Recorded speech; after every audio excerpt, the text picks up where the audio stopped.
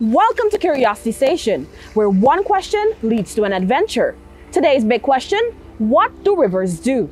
Rivers carry fresh water that is essential for life. They provide us with drinking water, help grow crops, and even provide us with energy. Did you know that hydropower electricity made from water comes from rivers?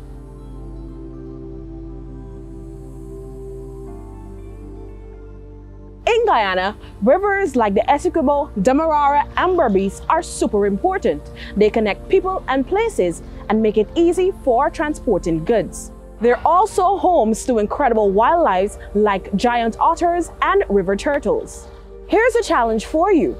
Draw a map of Guyana, mark its major rivers. Then think of how these rivers may help people and animals. You're already learning geography. Rivers are more than water.